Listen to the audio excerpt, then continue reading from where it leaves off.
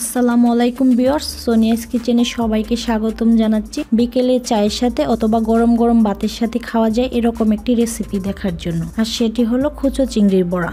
বাটাবাটি ঝামেলা ছাড়াই কীভাবে এই চিংড়ির বড়াটা তৈরি করা যায়, সেই রেসিপিটি আজ আমি আপনাদের সাথে শেয়ার করব। আশা করছি রেসিপিটি আপনাদের ভালো লাগবে। আর এরকমই আরও মজার মজার রেসিপি পেতে চ্যানেলটি সাবস্ক্রাইব করার অনুরোধ রইল। তাহলে চলুন দেখে নেওয়া যাক চিংড়ির বড়া তৈরি করতে আমাদের কি কি উপকরণ লাগছে। আমি এখানে প্রায় সাড়ে তিনশো গ্রাম পরিমাণ চিংড়ি মাছ নিয়ে চিংড়ি মাছের মাথাগুলো ফেলে চিংড়ি মাছগুলোকে খুব ভালোভাবে ধুয়ে পরিষ্কার করে নিয়েছি। আদা কুচি নিয়েছি তিন টেবিল চামচ পরিমাণ, স্বাদ মতো নিয়েছি লবণ, হাফ চা চামচ লাল মরিচের গুঁড়ি, হাফ চা চামচ হলুদের গুঁড়ি, দু কাপ নিয়েছি পেঁয়াজ কুচি আর পেঁয়াজগুলোকে একেবারে কুচি করে কেটে নিয়েছি। তিন টেবিল চামচ পরিমাণ কাঁচামরিচ কুচি ওয়ান থার্ড কাপ পরিমাণ ধনিয়া পাতা কুচি হাফ কাপের মতো বেসন আর ওয়ান থার্ড কাপ পরিমাণ নিয়েছি শুকনো চালের গুঁড়ি। তবে বেসনের পরিবর্তে সিদ্ধ আলুও মেশ করে দেওয়া যাবে অথবা মসুরের ডাল দুই তিন ঘণ্টা ভিজিয়ে রেখে তারপর বেটে ব্যবহার করা যাবে। এবার সবগুলো উপকরণ একসাথে মাখার জন্য একটি মিক্সিং বল নিয়ে নেব।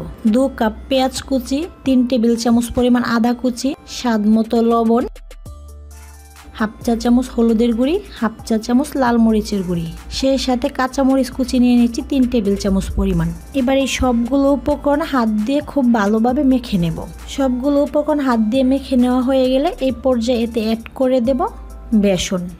সেই সাথে দিয়ে দেব চালের গুঁড়ি।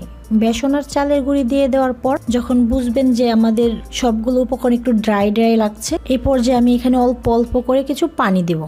তবে পানিটা একেবারে দেবো না, যেহেতু আমরা চিংড়ি মাছটা পানি দিয়ে ধুয়ে রেখেছিলাম, তাই অল্প অল্প পানি দিয়ে আমি ডোটা তৈরি করে নেব। যেহেতু আমি এখানে কিছু শুকনো উপকরণ ব্যবহার করেছি, তাই আমার এখানে চার টেবিল চামচের মতো পানি লেগেছে।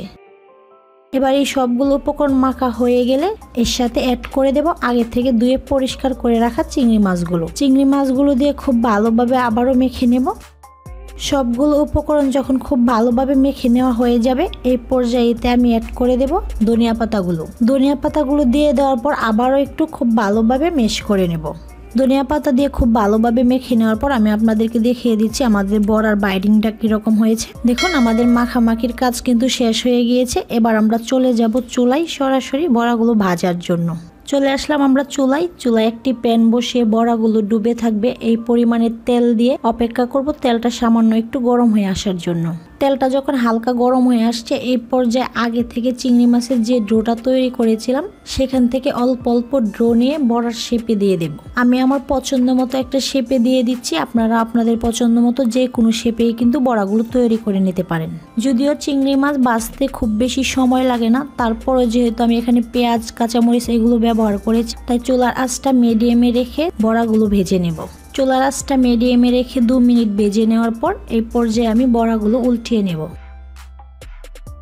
চুলাটাকে মিডিয়াম হিটে রেখে চার পাঁচ মিনিট উল্টে পাল্টে ভেজে নেওয়ার পর আমাদের বড়াগুলো কিন্তু খুব সুন্দরভাবে ভাজা হয়ে গিয়েছে। এই পর্যায়ে তেলটা জড়িয়ে বড়াগুলোকে নামিয়ে নেব আর সেমভাবে বাকি বড়াগুলোও ভেজে নেব। তো ভিওয়ার্স আমার কিন্তু সবগুলো বড়া ভাজা হয়ে গিয়েছে। আর আমার আজকের রেসিপি কেমন হয়েছে সেটা আমি আপনাদেরকে বলব না। আর আপনারা বাসায় তৈরি করে আমাকে কমেন্টস করে জানাবেন রেসিপিটা কেমন হয়েছে। আর যদি রেসিপিটা ভালো লেগে থাকে, তাহলে একটি লাইক দিয়ে কমেন্টস করে বন্ধু বান্ধবের সাথে শেয়ার করতে বলবেন না। আজকের মতো এখানেই বিদায় নিচ্ছি। দেখা হবে আবারও নতুন কোনো রেসিপিতে সে পর্যন্ত সবাই অনেক অনেক ভালো থাকবেন আর আমার জন্য দোয়া করবেন। আল্লাহ Allah Hafiz.